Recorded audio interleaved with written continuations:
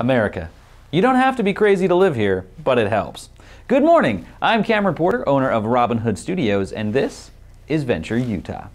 We have a couple of great guests this morning. Joining us will be Bowen Gines with Authority Roofing and Michelle Malais with Assisted Living Locators. Before we get, bring them on, some short comments on everything going on right now. So, my first exhortation to everyone watching is this don't stop talking to people and don't stop listening to people, especially those with whom you disagree. The only course of action when we stop talking and listening is violence. So don't stop talking and listening. My second exhortation is to be active in the political process. As much as things are happening on social media, elections and the political process is where the rubber meets the road. Being loud on social media and then not reaching out to your representatives is just not effective. My third exhortation is to stop vilifying the other side and don't dismiss arguments without giving them proper consideration. You can condemn specific actions without condemning an entire movement or belief system. Just because you dislike someone or are suspicious of their motives does not mean their argument is invalid. It's easy to avoid engaging with an argument by dismissing the person making the argument.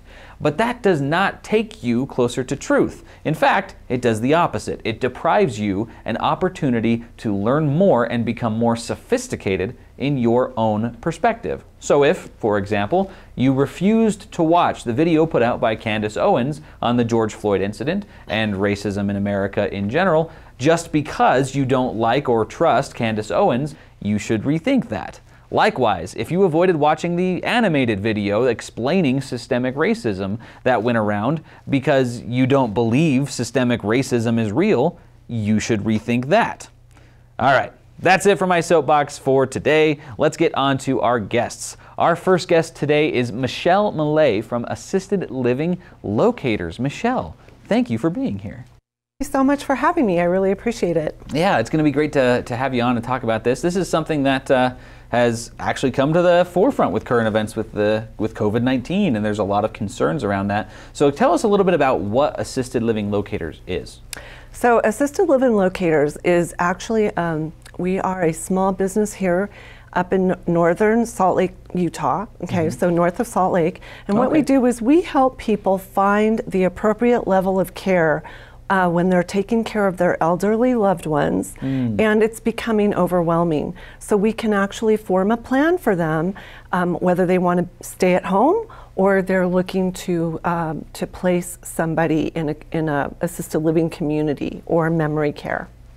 Okay, that's fantastic. So you're I, I, not necessarily a matchmaker, you're more of a consultant. Correct. Okay, yep. and you mm-hmm. help them figure out what's going to be the best solution. Exactly right, and um, we have numerous resources, um, and I all, I'm always discovering new ones. And there are so many resources available to people, and they actually have no idea. So it's really important to actually give us a call. And the reason I say that is because um, most people, especially when they're um, taking care of a spouse, um, they don't have the opportunity to do researching on the computer. And the, mm. when they're caretaking, it's so overwhelming, they don't have the opportunity to actually find the time. So they can make one phone call or they can make 20 to 50 phone calls. So we're here to just just answer that one phone call and do all the footwork for them. And we don't charge them for it. Really? Yeah. Okay, so it's a complimentary service that just helps them make a connection with the resources they need. We are charged. Um, we we do get. I'm sorry, we're not char- we're not charging them, but we are compensated by a, an assisted living community. So if they ever get to mm. the point where they need to actually be placed, that's when we get compens- compensated by the community itself, not the not the families. Gotcha. So, but we are here to make their their um, end of life choices, um, uh, their own choices. If we go in and we see a situation where things just aren't safe anymore, we'll try to really encourage and nudge them to be placed for their own safety. Um, but but we do want to honor their wishes. If they want to stay at home, we'll arrange that. We'll try to arrange that. That's phenomenal. That's great. So you mentioned resources that are available uh, to people that they're just not aware of. Mm-hmm. Can, would you mind sharing what some of those resources are? So um, a lot of times people think that they can't afford it, um, and and if they can't afford it, believe it or not, they may not be able to afford it. But um, here's an example of what happened recently.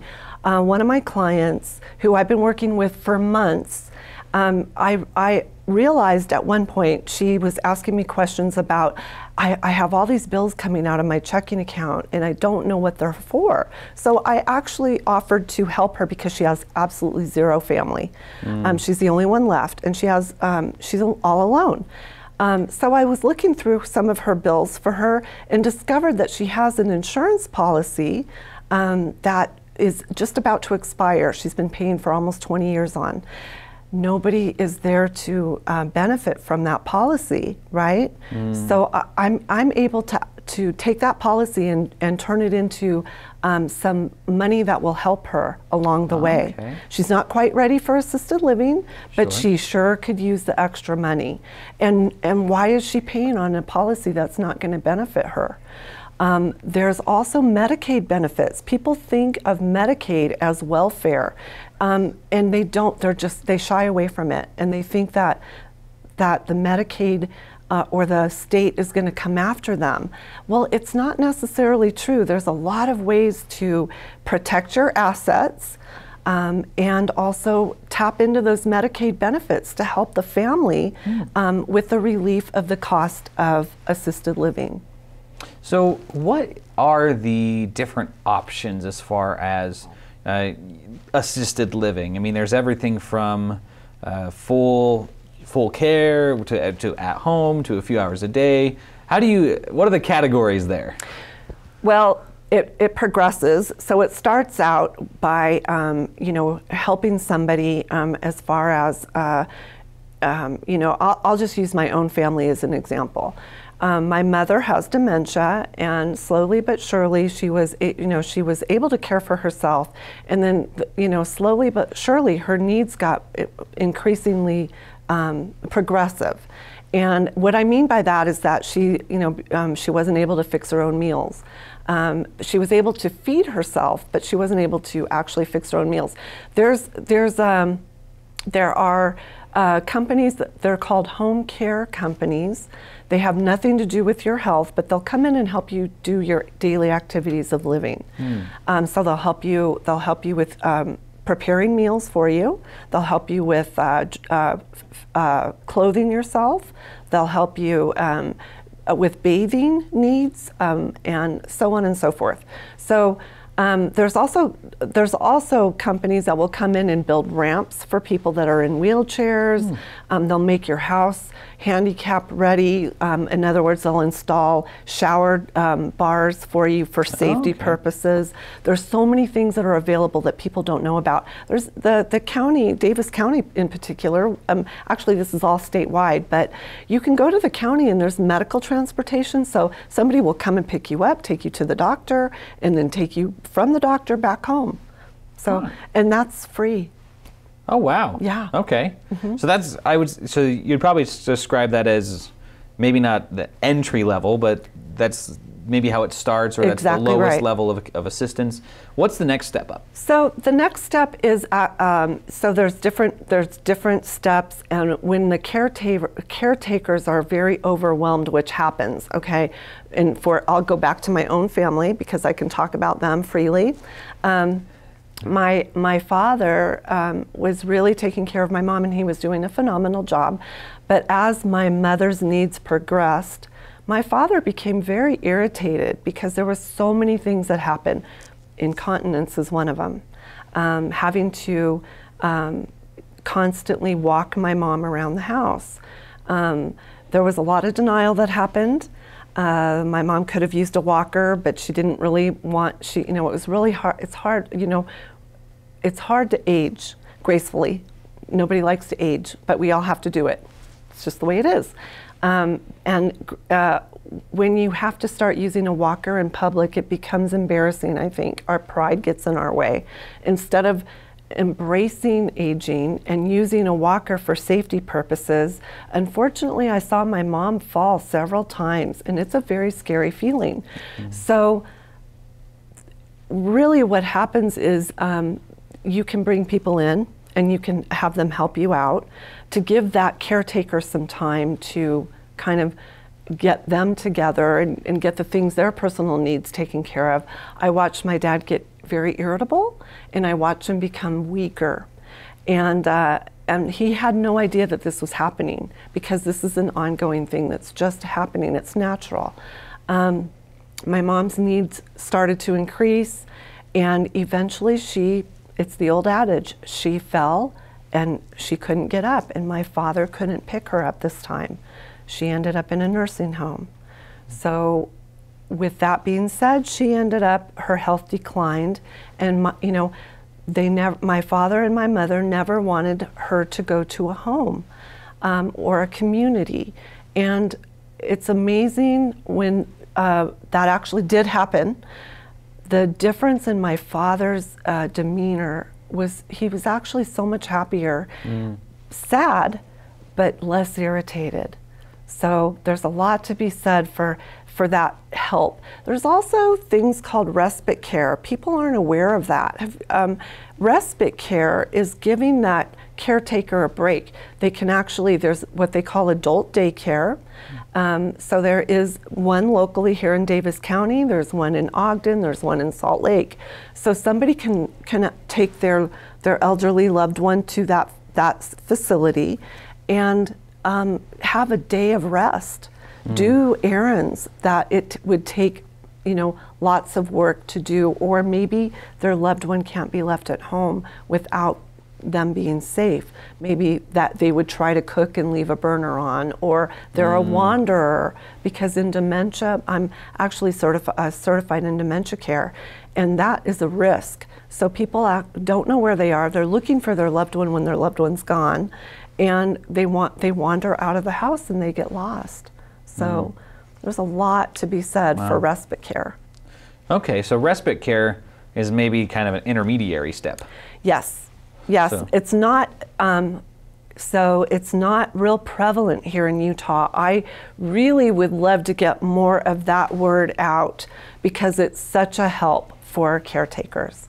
Gotcha. So, real quick, we're, we've got to wrap up the segment, but I want to give a chance to hear exactly so you did it at the very beginning, but let's get some more information on what you do for your customers.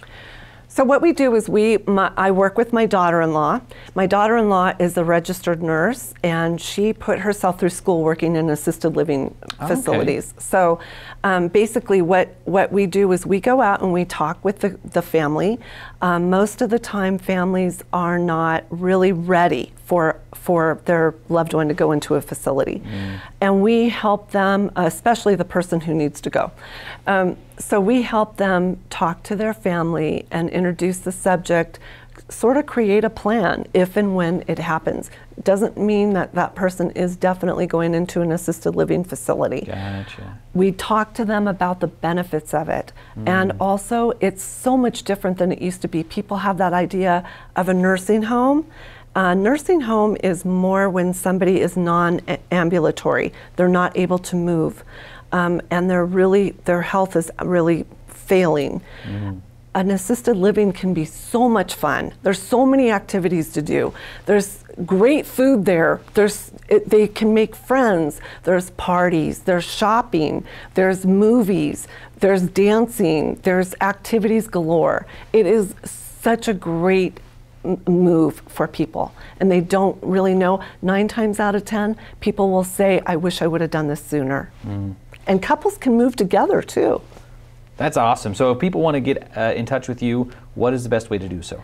Um, the best way would be my phone number, which is 801 656 2141.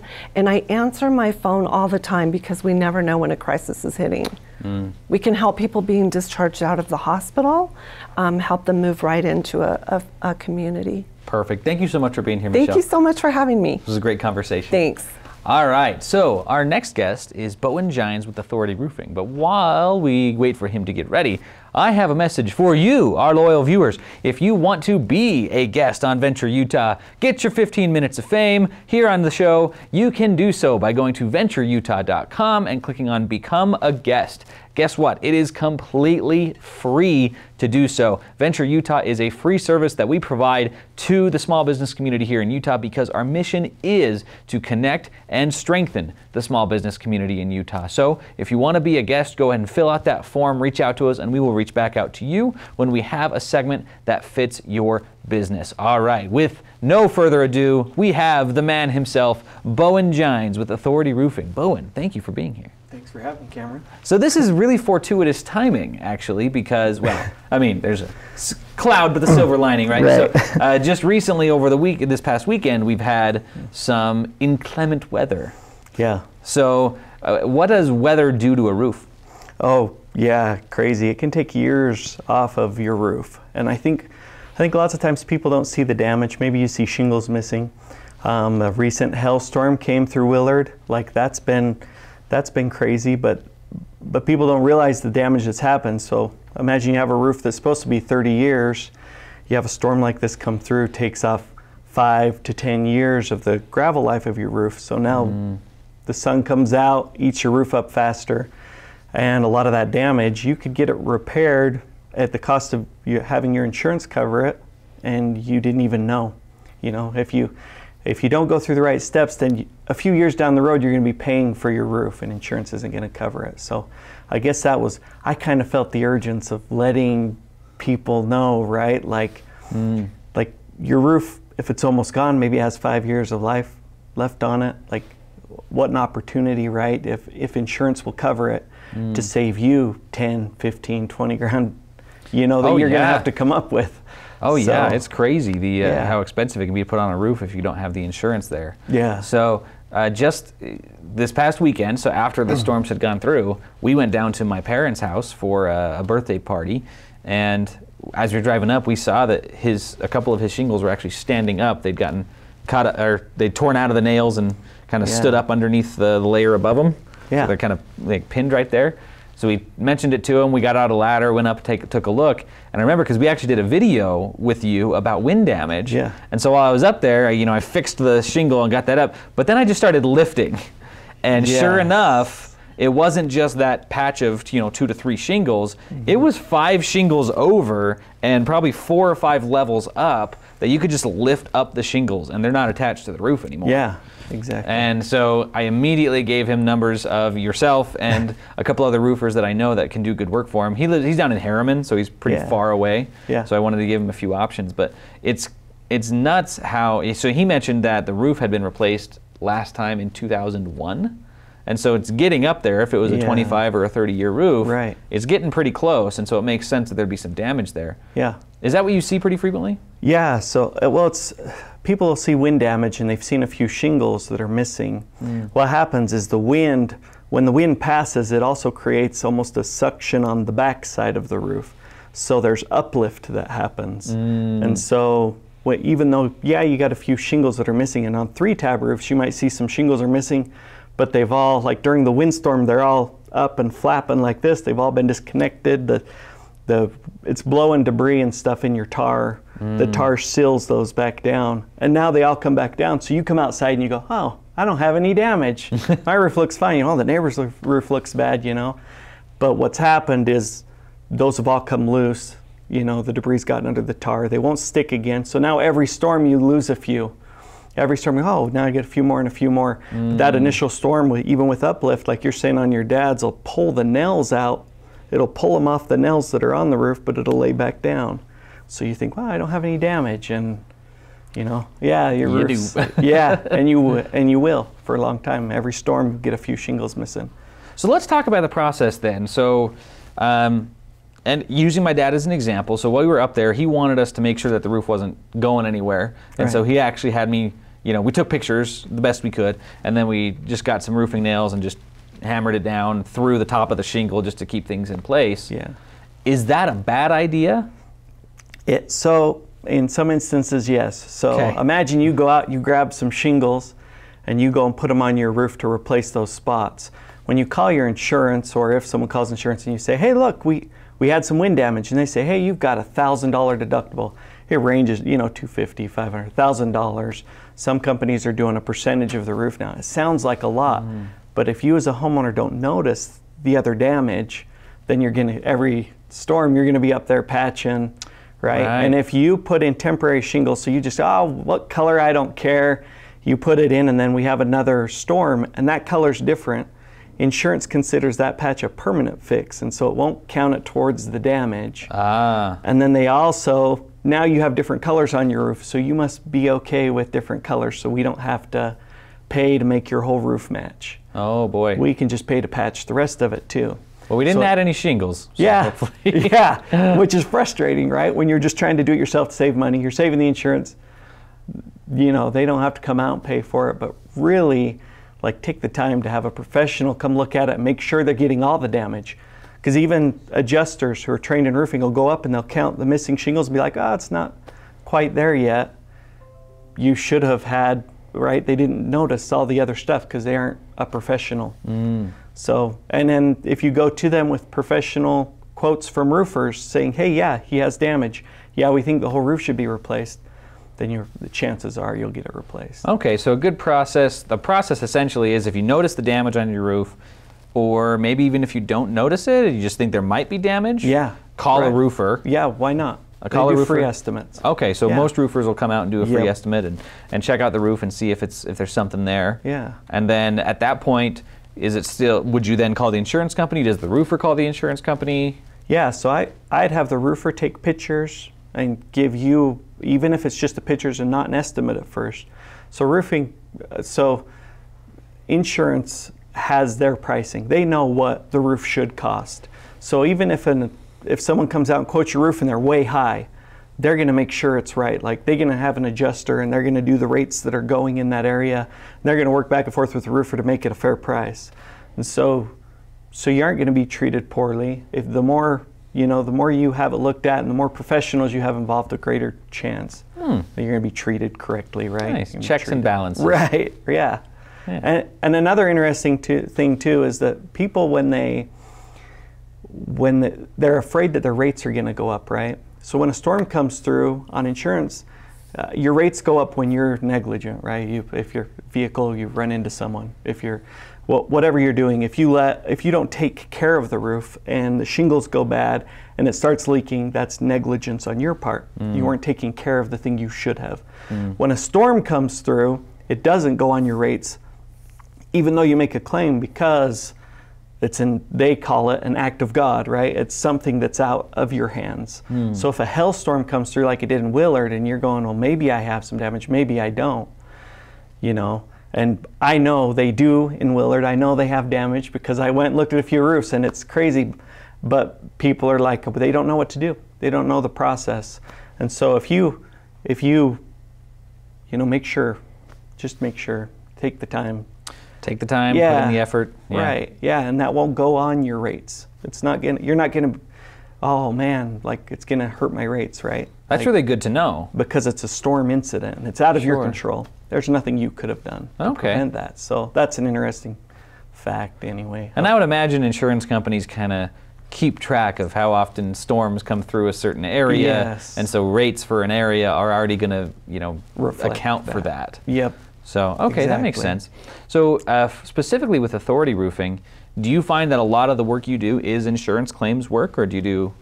Uh, we do a lot of homes, homes that have older roofs and tear offs, multiple layers on them. Oh, So we do a lot of that work too. We, yeah, we. I mean, if I don't know if you guys did the Cherry Hill Water Park, we did a lot of their roofs for their hail damage. Oh, cool. From a couple years ago, so that's been. So we, we'll do commercial roofs. We do, you know, if people just have a bad roof, it needs to be repaired. Sure. We love to do that work. Um, insurance works nice because if you're the homeowner and I come to you and I say, hey, in order for us to get the roof replaced, you need a roofer, right? I can help you get the roof done and you don't have to pay for it. Insurance is bringing money and it's easy for you as a homeowner to go, yeah, I'll, Yeah. let's get the work done. So it takes the financial burden out of it. So- Gotcha. Okay. So you actually mentioned something that brings up a question that I've always had. You mentioned uh, you, you do full tear offs where there's been multiple layers of shingles done. Yeah. So what is it bad for roofers to do multiple layers of shingles? And if so, why does anybody do it? Yeah. That's so, my question. Well, so here's the thing to think about is okay, you have a layer of shingles that go on a roof. If you're talking about two and three and four layers, each of those roofs has had 20 or 30 years. So go ahead and go back in time and see when, right, when did code say you couldn't have four layers on the roof? Well, when the, even when the third and fourth layer we're putting on, you're talking about 40, 50 years ago. So it's hard to say they shouldn't have, people were just doing it, right? As an inexpensive way to cover your roof. Now the code has come out and said, okay, you're, you can have two layers. You can have a layer of shingles and you can do a recover. You know, you can lay over those shingles with a second layer, Okay. but you're not supposed to go over two layers. And insurance companies, when there's damage, you don't do a second layer. You tear it off to make sure there's no other damage on the wood, and then you put the next layer back, you know, a new layer back on. And that's, I'd recommend to people, right, tear it off, make sure there's no other damage. Sure. You get your flashings right against the house Yeah. on your pipes. You get that done right so there's not small leaking. A roof can leak into your attic space and into your insulation, you never even know. Mm. So you want to make sure that's right.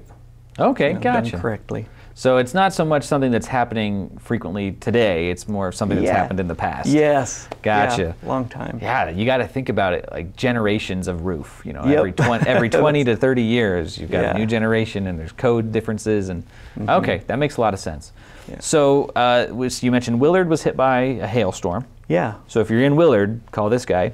Uh, and then wind also came through. I know it came down in the south. We had some wind. I don't know if it was Yes. how Yeah. severe it was. Do Yeah. you know which areas were affected by? So I've had calls on homes that are in Syracuse and Layton that Okay. had wind all the way up through Ogden. The every time we have a change in, you know, we're going into summer, and then from summer we're going into fall. Utah has harsh winds, you know, hail, and so it's crazy that you'll get spots where maybe there's, you know, just a few houses that that you've had a high wind come through and just ripped off shingles and the neighbor's house is fine mm. because of the way it is in the wind, because of the way it is in the storm. I've had in a hailstorm, I've had them say there's not hail damage on a house that's in the middle of the storm where all the houses are being replaced around it. So weather's, yeah, it'd be really weird. That's why it's good to have someone look at it, make sure. So if they want to have you come take a look at the roof, what is the best way to get in touch with you? So the best is just to call us. Uh, my number, it, I guess, probably on the screen. It's 801-628-2112. Hopefully we have the right Authority number. Roof, authorityroof.com. You can go to that. You can send us an email if you want. Best is to call us, schedule an appointment, come out and take a look at it. Perfect. All right. Well, that is all the time we have for today. Thank you so much for being here. You bet. And definitely reach out to Michelle and Bowen if you have need or questions about their services. This has been another successful episode of Venture Utah, accident free since 2003. All right. We'll talk to you next week. Thank you very much.